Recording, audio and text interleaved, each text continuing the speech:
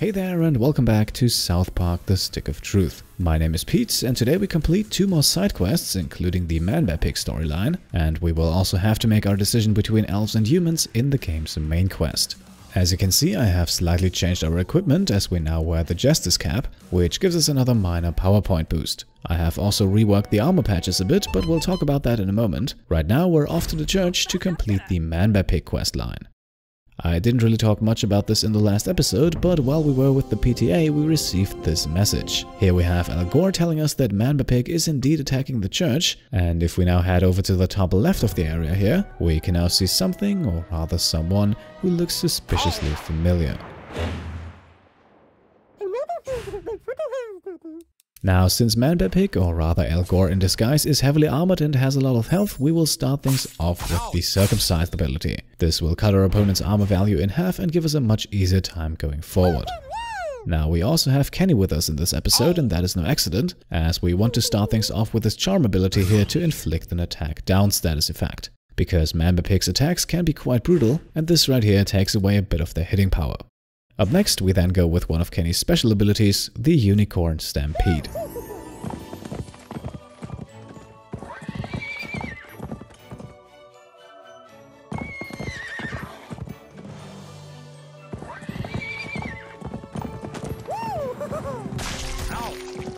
Alright, that's a nice amount of damage here, and just like the Circumcised ability, the Unicorn Stampede inflicts a stack of bleeding, which in turn will inflict damage over time, and with a health pool as large as Man Bear Pig's, that is something very useful to have. Now we will immediately go with the Circumcised again, and that costs us an additional 10 power points, but don't worry, we will get those back in a moment. Man Bear Pig's armor value is now halved once more and he has now 3 stacks of bleeding, but Kenny and his bow still don't have that much of an effect on him. Now the Man Bear Pig Rampage attacks three times and we only block once, but Kenny survives and now the Man Bear Pig helmet comes off. That helmet provided some extra protection, and now that it's off we can do a bit more damage. And we'll do so with a hard-hitting melee attack, not only doing 700 hit points of damage, but also inflicting extra fire damage, slowing down a target and weakening his defenses. And because the number of negative status debuffs on Man Bear Pig is not enough already, we will also add Grossed Out now with Kenny's Royal Kiss ability.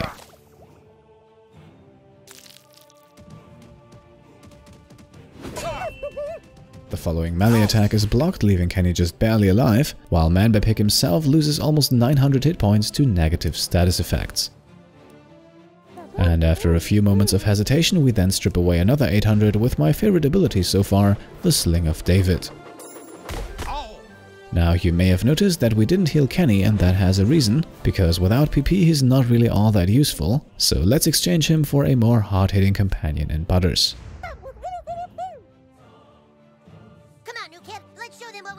And because Man Bear Pig is slowed down, we are immediately up again, and I want you to watch our PP bar as we now go for a ranged attack. As you can see, we gain 2 PP for every throw of the broken bottle, refilling our bar with a sizable portion of power points. And that is due to an armor patch that I have put on, which works very nicely with ranged weapons that you can fire multiple times.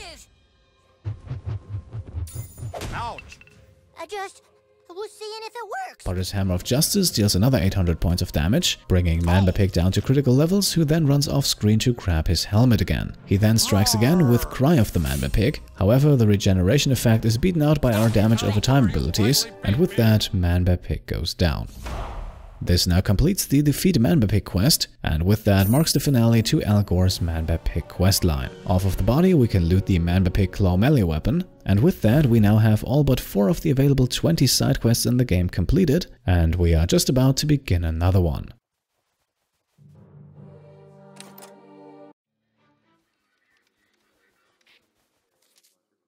Look, I got Nazi zombies to deal with. Most of my men are dead and the mayor's breathing down my neck. Whatever you want, it'll have to wait. Hey, wait, you look pretty tough. How would you like to see what it's like to be a real police officer, huh? Kill some bad guys? Okay, kid. All you gotta do is kill a bunch of Nazi zombies and bring me the rings off their fat German sausage fingers. You get enough rings, I'll see about getting you an honorary job on the force. Alright, new quest, and for this one we want to switch buddies, and we'll go with Stan, who's very useful against smaller groups of enemies. And with him by our side, we will trigger the first fight against Nazi zombie group number 1 of 5. My Now I will slightly speed things up here, fighting these Nazi zombies is not all that difficult. They are somewhat armored and have decent health pools, but as we just saw with Man Bear Pig, at this point in the game 1000 hit points can disappear very very quickly. One more thing that we do accomplish in this fight is to get ourselves two more perfectly timed blocks, getting our total up to 99 and leaving us just one perfectly timed block shy of the Skilled Defender achievement. This fight however ends here with a melee attack, leaving the achievement still open for grabs in the next one. After the fight, we are rewarded with the usual experience points and loot, but for the Stay Down achievement, we will proceed to fart on every single corpse during this side quest. Whoa, dude. This achievement requires us to fart on 10 enemy corpses after they have been defeated in combat, which is of course something you can also do very early on in the game, and I believe we could have unlocked this achievement as early as episode 1 or 2, but instead we'll do it now, the only thing that matters is that we eventually complete it. Now actually finding groups of Nazi zombies for this side quest can be a bit tricky, but I have found that the areas around the school, the church and Stark's Pond generally give you something to work with. I am Stan Marshwalker, brother of wolves and badgers. I got extremely lucky in this side quest and managed to find the five groups very quickly, but be warned that this can take a while longer. Like Our next enemy is all on his own and therefore quickly defeated, earning us experience points, the second of five Nazi rings, and already the fourth corpse to fart on. Is it true you made an alliance with the goth kids? We continue on to the right and immediately find another group in the community center parking lot, this one consisting of two enemies. After the Sling of David, Stan uses the Discus of Might ability, a bouncing ranged attack that hits both enemies for medium damage, good enough to take out one of them immediately and leave the other one with just a tiny amount of hit points. Now I failed to block here to get the Skilled Defender achievement, but at least we now have the third of five groups already defeated. That could have sucked a lot worse. Once again, we get experience points and loot, as well as the third ring and farts number 5 and 6. That leaves only 4 more to go and with two groups of enemies remaining, we should hopefully be able to unlock the achievement in just a few moments. Now we backtrack and return to where we came from, and while we don't find anyone else in front of the school, we are a bit more successful around Stark's Pond.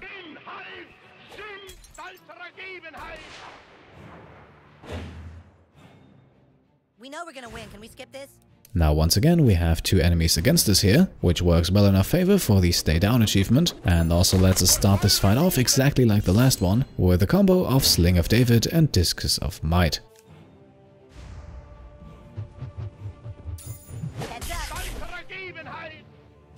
We also finally managed to get perfectly timed block number 100 in this fight, unlocking the Skilled Defender achievement and finally getting rid of some tedious editing work for me. Oh my god,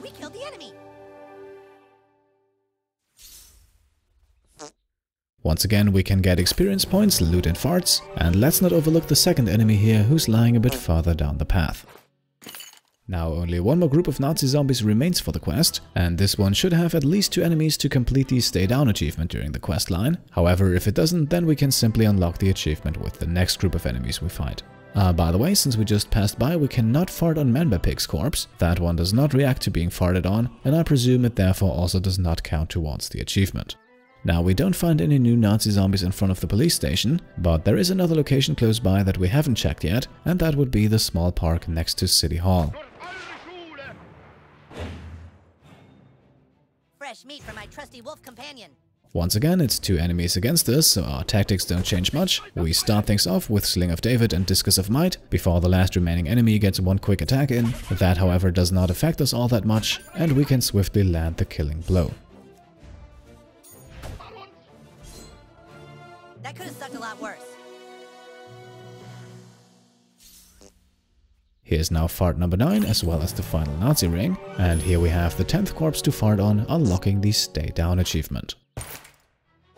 All we have to do now is to return to Sergeant Yates at the police station and turn in the quest.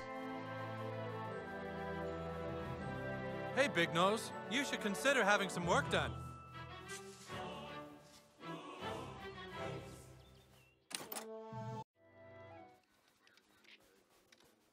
That's a nice collection of Nazi rings you got there. Well done, Junior Detective. Alright, and that's it. One more side quest completed, leaving only three more to go for the entirety of the game, two of which we have already started, and one of them is already at a stage where we can turn it in. And that is actually what we're about to do next, along with our decision on who to help in the quest to get the Stick of Truth back. And also thanks to your comments, I have decided to help out the elves instead of Cartman's humans. Helping out Kyle Stan at the Elven Kingdom just seems to be the right choice at this point, especially if we consider that Cartman might just be using us. Before we continue the main quest line, however, let's quickly turn in the Restoring the Balance side quest. Our territory is restored. I am honored to friend you, Dragonborn.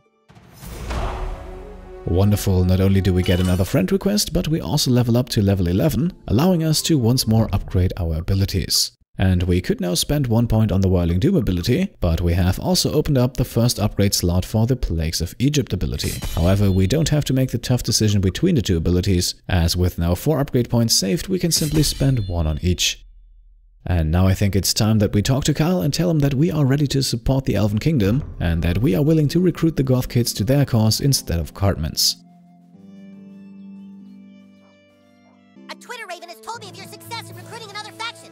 Simply call them here, and your dedication to the Drow will be complete. Climb up into the treehouse and summon your allies.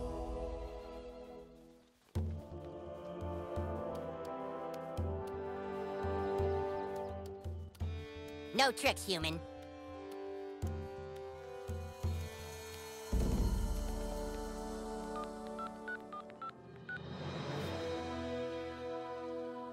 Kid, I'm sorry I ever doubted you. I hereby make you a member of the Drow Elves of the Forest. Yay! New kid, you have our friendship. I hereby level you up to the rank of Commander.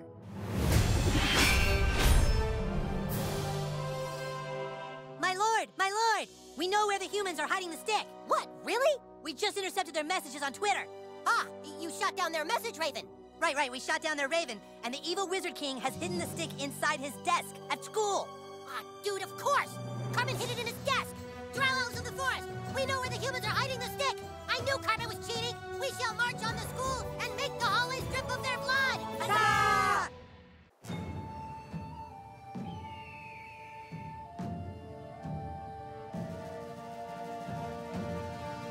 Defenders of freedom! We thank you for your courage in joining our fight! Tonight, we are no longer elves or goths. Tonight, we fight as one! I feel like such a Homo sapien right now. The elves are here! They have blown their war horn! Blow ours, Stan! Okay? Elves, flank left! Goth kids, prepare to attack from behind! The front's barricaded! Commander Douchebag, see if you can get in through the side entrance and take out their defenses from behind! Alright, here we are attacking the school on the side of the elves. And with our recent promotion to commander, we have received another set of equipment for the Jew class.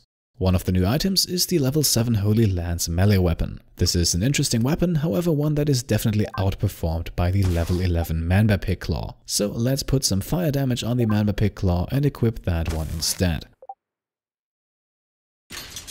We are now also wearing the Holy Fedora as our headwear, which restores 2 PP every time we take damage and is therefore very very useful. And I would actually argue that it is a bit more useful than the Justice Cap that we had equipped before, so let's quickly transfer the weapon patch to the Fedora, which we will keep equipped. One thing that we will not keep equipped however are the level 7 holy robes, simply because they're only really of use once we have taken negative status debuffs. Since those don't happen all that often, I have instead decided to stick with the goth clothing, simply because it has two upgrade slots instead of one, allowing for greater customization and a nice boost to our ranged attacks. Last but not least, we get the level 7 Holy Ring, and we will keep this one equipped as well because plus 50 holy damage on perfect attacks is very useful to have. We will however upgrade it with a weapon patch that adds 15 armor.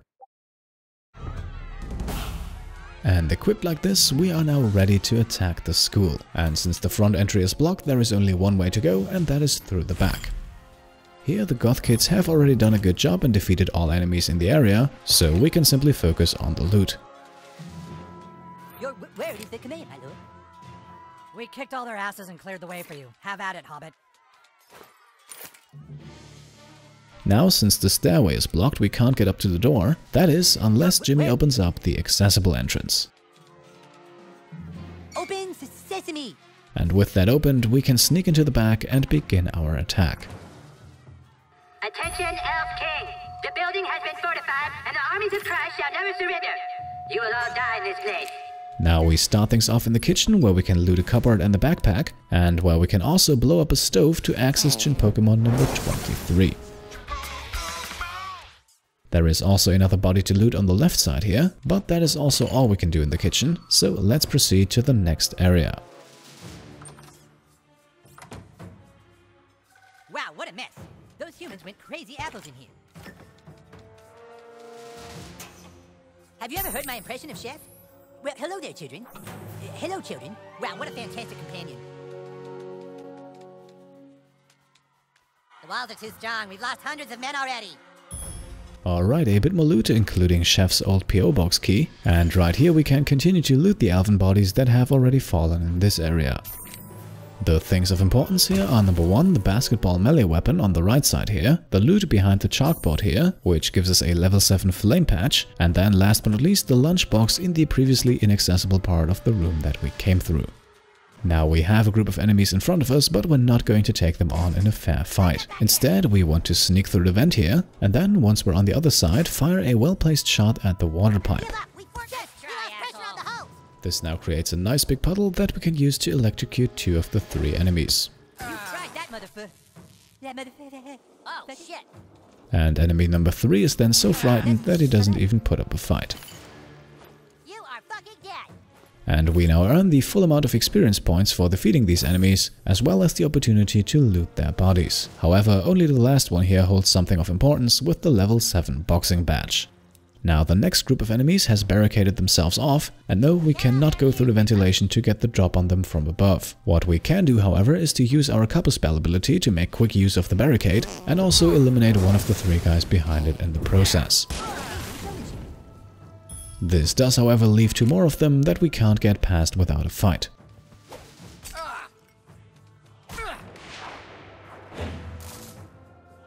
How's everybody doing? Good?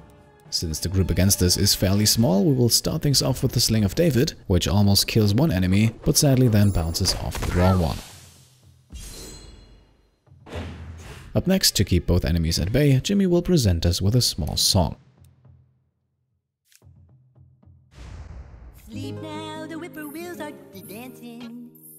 Gently now, put your my mind to rest. Wow, what a terrific audience. Now that we have only two enemies left, we once again go for the Sling of David, and that reduces the group in front of us to only one, however that one still has shields. With Jimmy's crossbow, we then strip away the first layer, and with four throws from the broken bottle, we strip away the remaining one, and also inflict grossed out and five stacks of bleeding. Jimmy then uses the power chord ability to give the entire party a PP boost, Time to warm up the crowd. which gives him enough PP to immediately sing his lullaby again. Close your eyes, no more thinking about thinking about troubles. Sleep now with Jesus, for you are blessed. The enemy falls asleep and loses almost 1600 hit points due to status effects, which leaves him easy enough for us to take care of.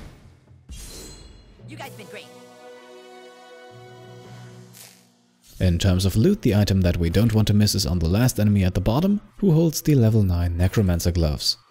And with those in our possession, I think this right here is the perfect point for us to make the cut. Yes, we are in the middle of a quest, but this is a long one, and to be fair, the real fun hasn't started yet. And I would hate to make the cut midway through more important scenes, so let's make it right here and see how things progress in the next episode. As always, if you liked this video then please leave a thumbs up, and if you want to support the channel then feel free to subscribe. Thank you all for watching, and I'll see you next time. Cheers.